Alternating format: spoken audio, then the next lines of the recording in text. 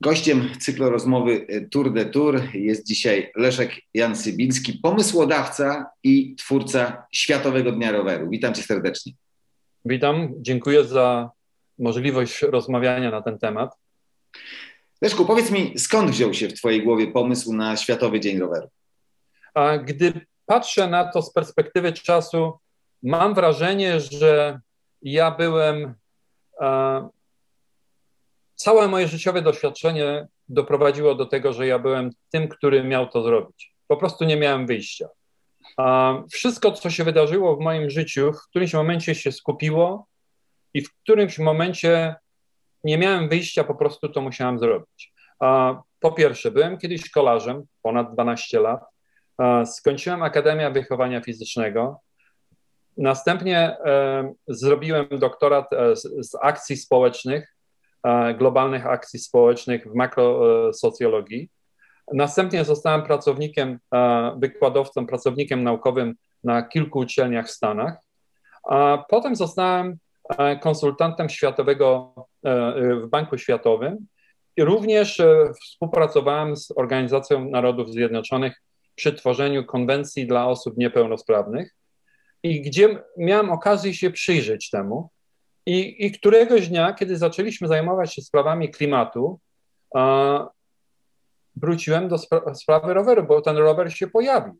Że rower jest tym instrumentem, który pozwala nam uniknąć zanieczyszczeń, pozwala nam żyć zdrowo i pozwala nam uniknąć tłoków na, na ulicach, na autostradach, na, w miastach, w szczególności dużych miastach. No i wróciłem do swoich korzeni zacząłem się przyglądać, co można zrobić. Miałem kilka koncepcji i nagle zobaczyłem, że są święta e, e, w, w ONZ-cie, które, e, które się obchodzi regularnie i one są zarejestrowane jako oficjalne święta. No i tak bliżej patrzę, nie ma roweru. I to było takie uderzające. Nie ma no oczywiście przez myśl mi nie przeszło w tym momencie, że ja będę tą osobą, która to doprowadzi do końca. Pomyślałem sobie, skontaktuję się z organizacjami pozarządowymi, e, wiodącymi na świecie, z, z jakimiś instytucjami. No więc tak przyjęto mnie jako bardzo dobrze nastanowionego e, entuzjastę, który ma pomysł, ale tak, czy ten pomysł ma sens, czy to, czy to się da zrobić, to nie wiadomo. No i po roku zacząłem się wszystkim przypominać, a zaczęto mnie troszeczkę bardziej poważnie traktować. Po dwóch latach już napisałem kilka artykułów na ten temat, które ukazały się na stronach Banku Światowego, ONZ-u, nawet Watykan przedrukował jeden z moich artykułów. Już wiedziałem, że jestem na właściwym tropie i zaczęto mnie bardzo uważnie słuchać. E, zwróciłem się do jednej z wiodących do ambasad w ONZ, która reprezentuje rower na co dzień. W zasadzie jest to dla nich powszedni chleb. A ambasador odpisał mi, no, że to jest dobry pomysł, ale czy to jest najlepszy czas, to nie wiadomo. Tak trochę byłem zaskoczony negatywnie, ale wytłumaczyłem sobie, że w tym kraju prawdopodobnie rower jest tak samo traktowany jak w Chinach pałeczki do jedzenia. Są po prostu naturalną rzeczą i, i to nie ma żadnej sensacji. I, I, być może, że ten ambasador jest po prostu już tak przyzwyczajony do tego roweru, że on sobie nie wyobraża życia i jakieś świętowanie dla niego jest to może niekoniecznie najlepszym rozwiązaniem. No to udałem się do innych ambasad i trafiłem na ambasadę Turkmenistanu, która bardzo chętnie przyjęła ten pomysł. Bardzo szybko się zorientowali, zaprosili mnie do współpracy, powstała grupa konsultacyjna. Było pięć takich spotkań, na które e, przyszli ambasadorzy, przedstawiciele e, z różnych innych e, ambasad. Po tych pięciu spotkaniach, po tych pięciu sesjach w ONZ było już wiadomo, że mamy pełne poparcie. Bardzo ciekawą rzeczą, że na dzień przed e, przyjęciem, adoptowaniem rezolucji doszliśmy do wniosku, że trzeba wysłać jeden list przypominający o ważności roweru do jednej ambasady, do ambasady Stanów Zjednoczonych. A pokazuje to siłę tego kraju i pokazuje również, jak e, każda rezolucja, każdy dokument musi być przygotowany, nawet ostatnie chwile, na ostatnie godziny się liczą. Przyszliśmy na, na, na moment, e, kiedy e, miało odbyć się głosowanie. No, napięcie było. Muszę przyznać, że napięcie było. Przede wszystkim oszałamiające wrażenie, jeśli chodzi o pobyt, o pobyt w tej sali, w tym głównym holu zgromadzenia ogólnego, gdzie jest każdy kraj. No i z, zaczęło się. Każdy kraj według kolejności alfabetycznej a, jest pytany, czy popiera tą rezolucję. Światełka się zapalały, zapalały się, zapalały. No i skończyło się na 193 światełkach, co oznaczało, że rezolucja została przyjęta. Wielkie przeżycie to dla mnie było. Myślę, że największe przeżycie, jakie dorosłego człowieka sobie można wyobrazić, że przychodzi się, kreuje się pomysł, przychodzi się do takiej instytucji, która jest, jakby powiedzieć, odpowiednikiem rządu świata, i ta propozycja jest akceptowana, jest adoptowana i każdy z tych krajów wypowiada się. Do tego doszło 56 krajów, które było co-sponsorami tej rezolucji. Także satysfakcja olbrzymia i wydaje mi się, że wiele krajów dojrzało do tego, żeby docenić tą, tą rezolucję, ponieważ to spowoduje ożywienie, e, jeśli chodzi o zainteresowanie e, rowerem. Nie chciałbym używać kolarstwa, ponieważ kolarstwo bardzo często w języku polskim kojarzy się z wyczynowym rowerowaniem, cykliści. To są, tak by powiedzieć, bardziej neutralne te sformułowania. E, rower ma miejsce wszędzie e, i e, wydaje mi się, że ta rezolucja pokazuje już, my jesteśmy w czwartym roku, co udało się zrobić. Jesteśmy na wszystkich kontynentach, jesteśmy nawet na stacji satelitarnej. Astronauci w ubiegłym roku wsiedli tego dnia na rowery stacjonarne i uczcili ten dzień, trzymając się w, w, w tężyźnie fizycznej.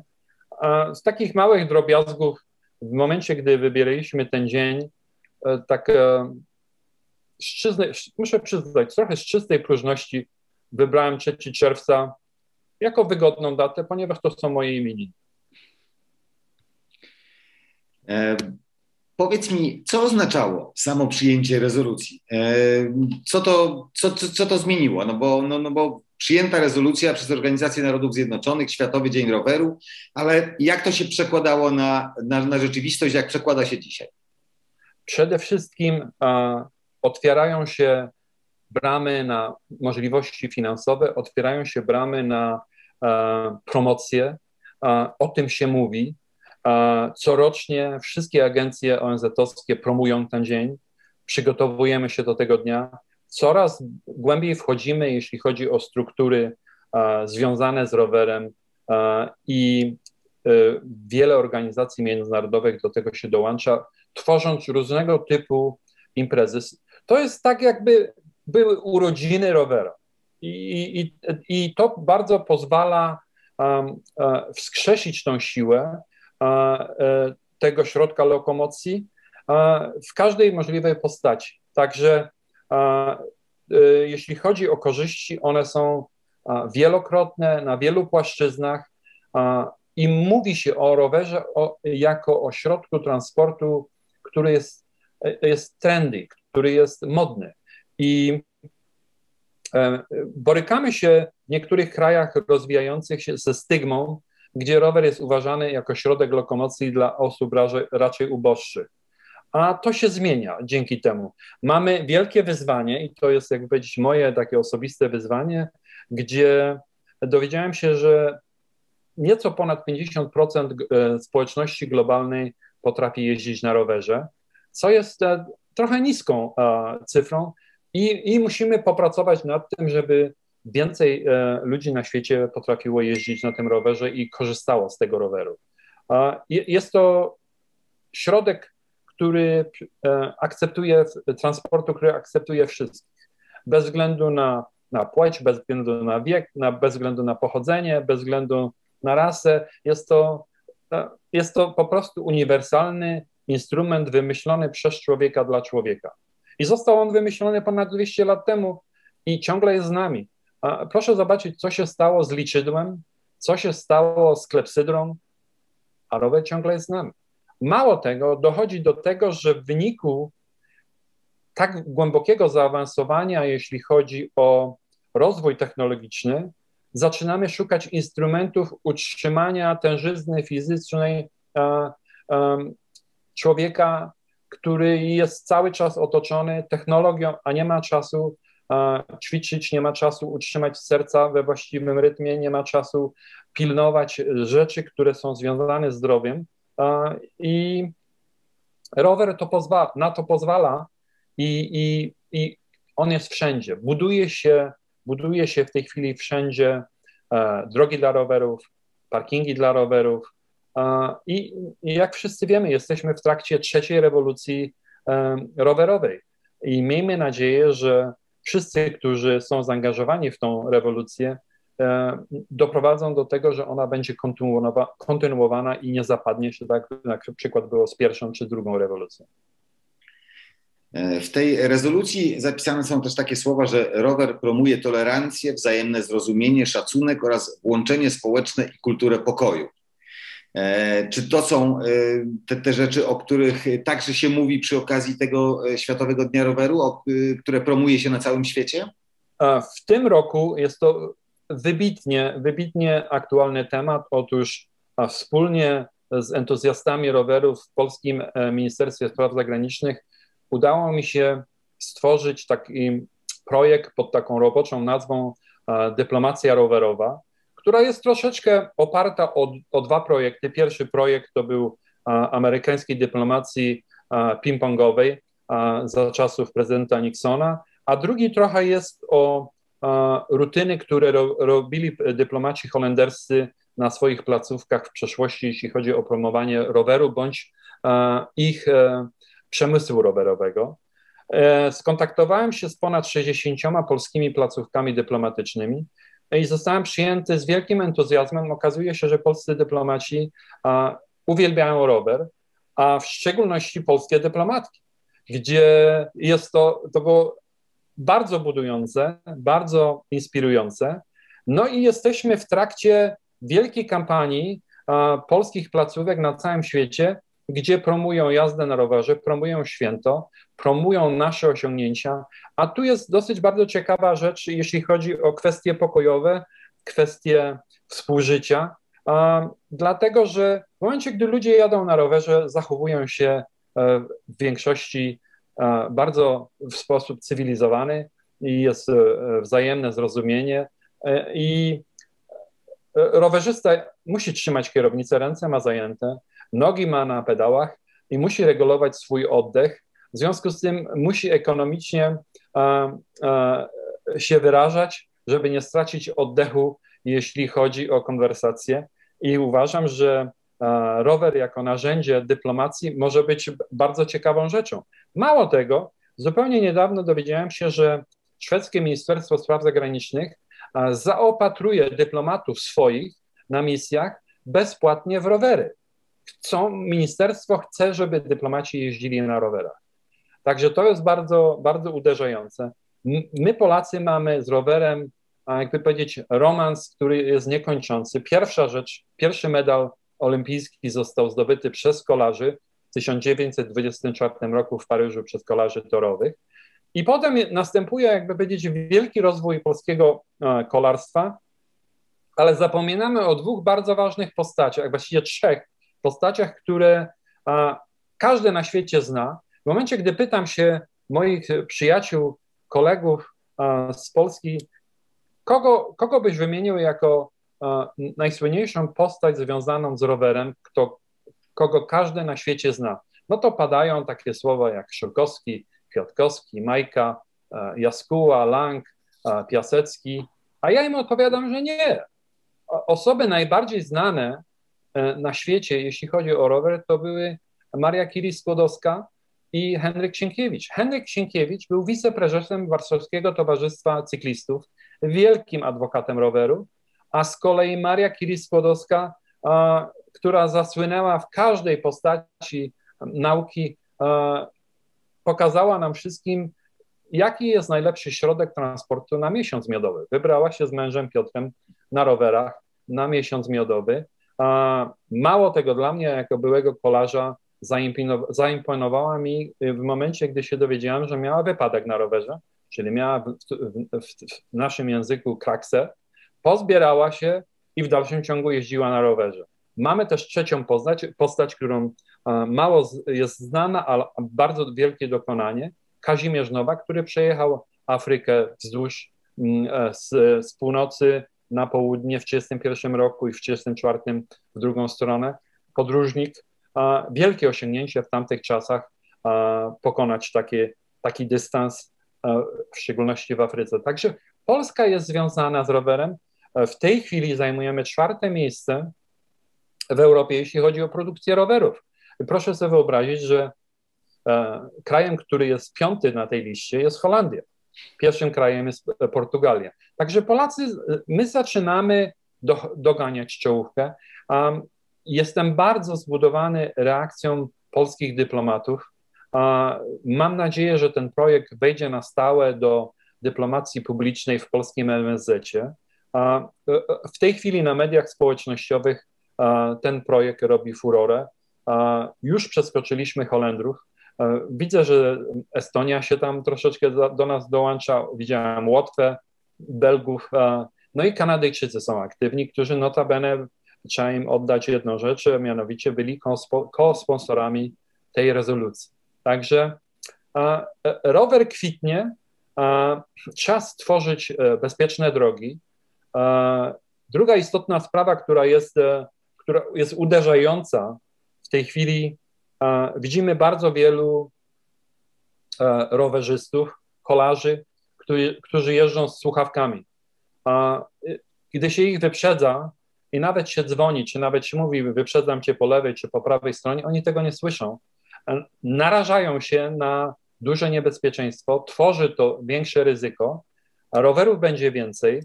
Mamy te, musimy też nauczyć się funkcjonować z pieszymi spacerowiczami, czy biegaczami, czy innymi, którzy korzystają z tych dróżek rowerowych.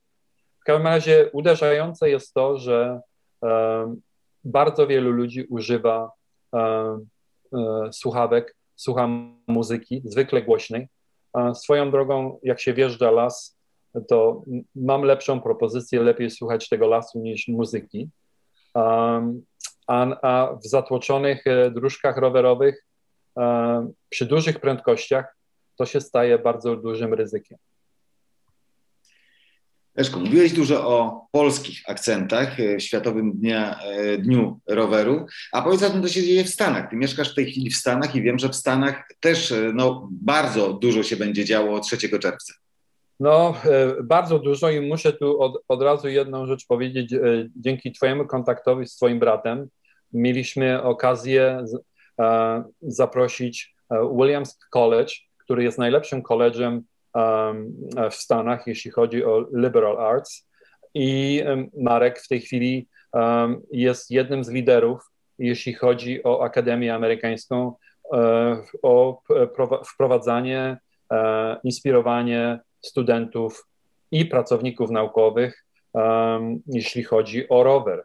Mamy duży sukces e, na Harvardzie, gdzie udało mi się zaprosić e, pracowników naukowych, wykładowców e, z, z Uniwersytetu Harvardzkiego, ze szkoły medycznej.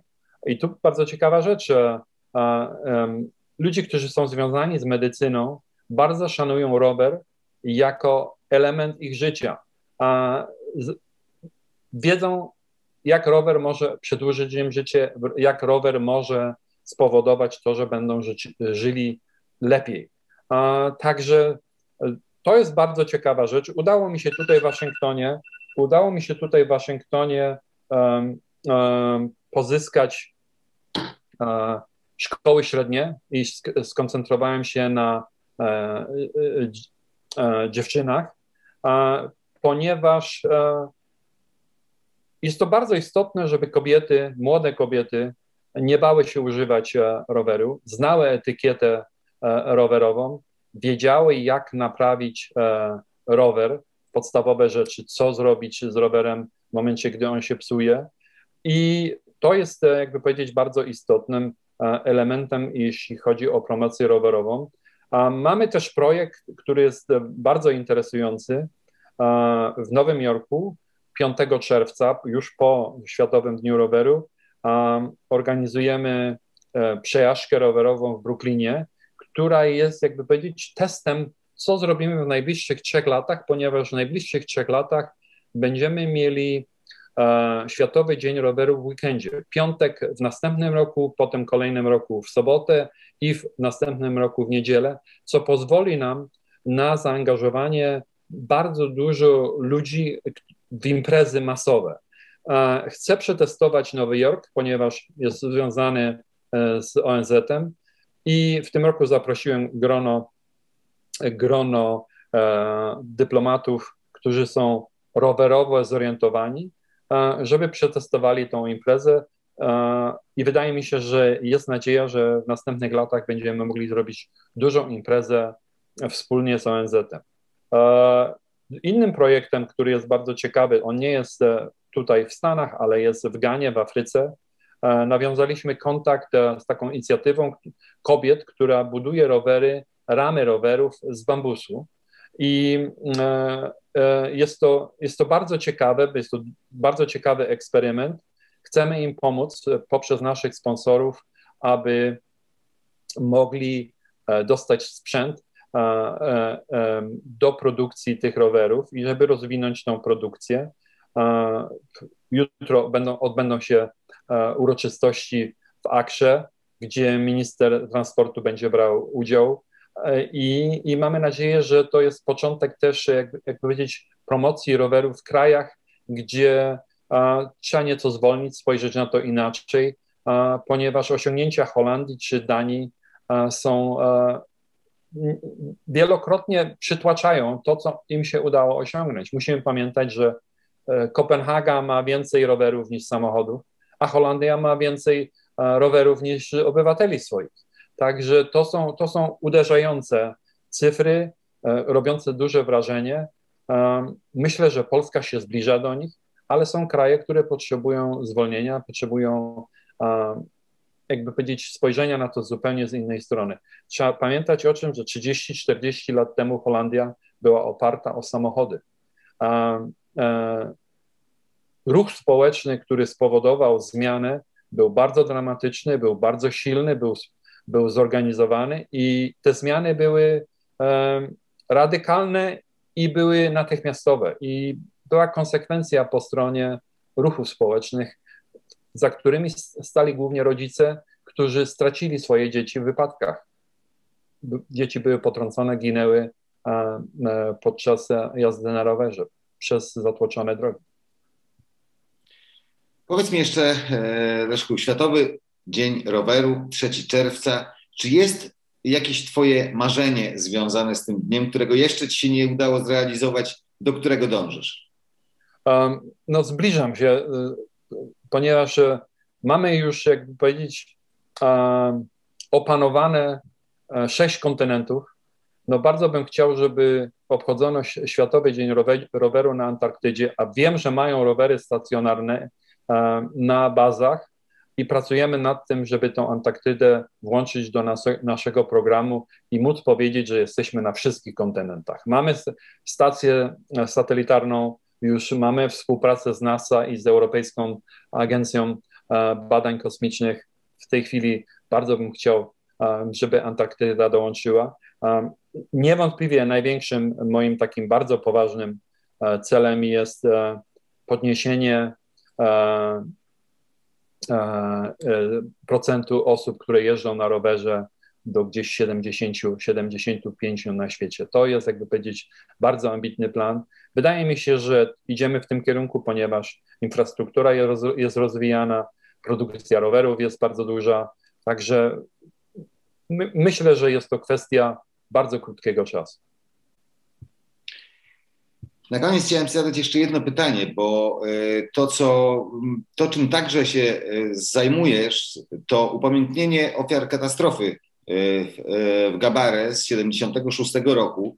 Ty byłeś wtedy członkiem kadry narodowej polskiej i kolarze, którzy wyjechali na to zgrupowanie, niestety część z nich zginęła w tej katastrofie.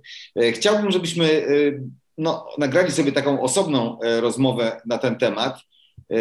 Ale to jest, czy, czy to jest też jedna, jedna z przyczyn, które doprowadziły Cię właśnie do tego, do, do, do, do walki o Światowy Dzień Roweru? Nie, nie, to jest zupełnie inna historia, a mianowicie w momencie, gdy to jest moja interpretacja, myślę, że, że mam, jestem na właściwym tropie, jeśli chodzi o, o tą interpretację.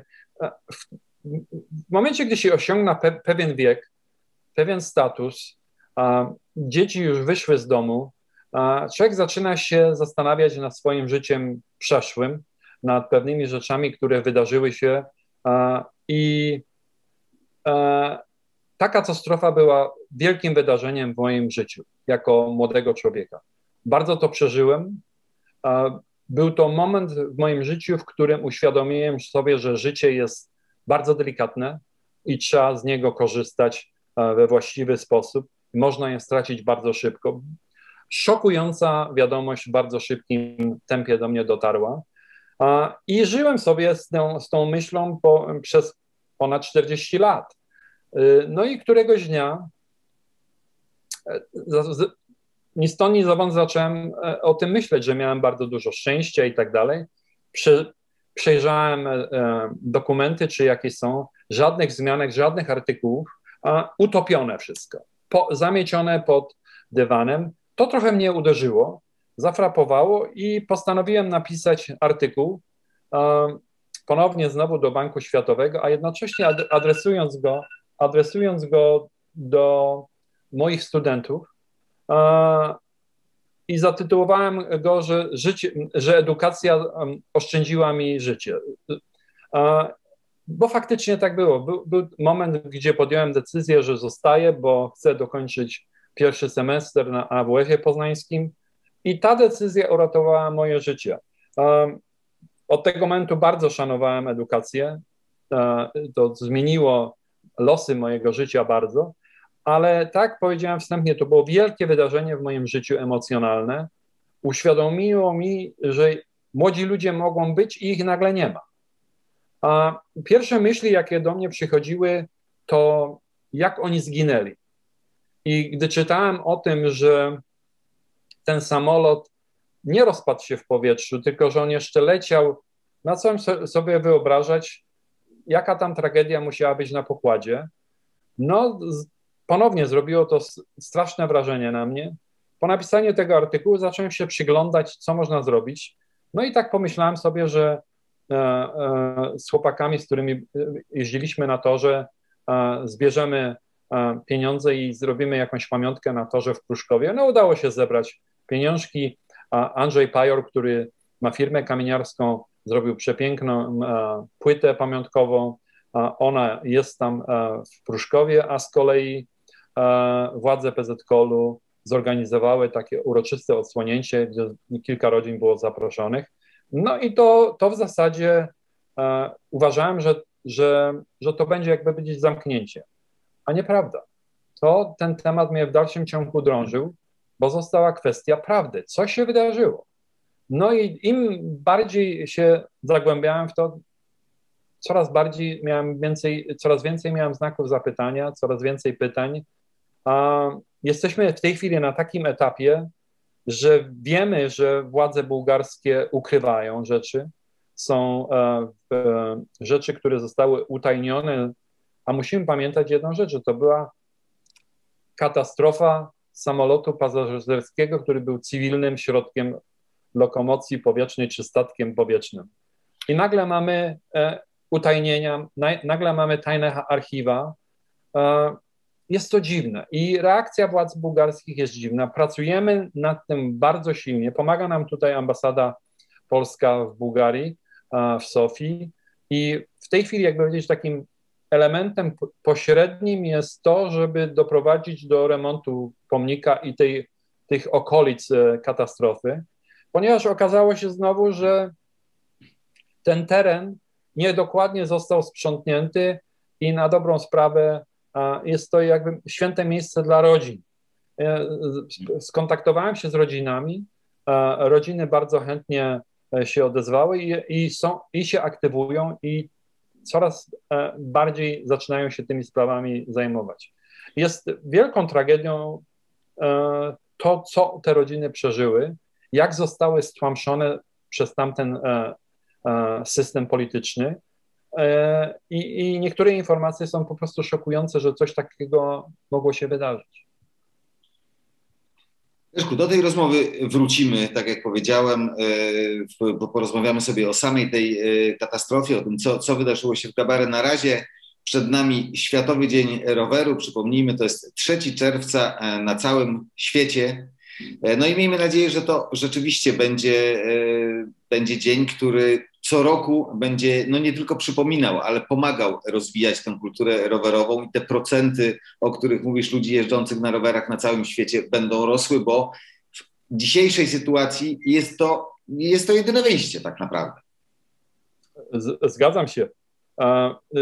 W megacities, wielkich miastach nie dają sobie już rady. I jedna drobna rzecz. Jesteśmy znowu, jakby powiedzieć, wprowadzani w błąd przez tak zwany samochód elektryczny. No tak, no niby tych spalin jest mniej, ale ciągle potrzebuje tyle samo miejsca na parkingu. Tak jest. Tak więc Leszku, bardzo Ci dziękuję za rozmowę. To ja dziękuję. Życzę Ci naprawdę udanego dnia roweru wszystkim rowerzystom na świecie życzymy udanego dnia roweru. No i, no i niech to będzie rzeczywiście święto nas wszystkich. Absolutnie. Dziękuję i nawzajem.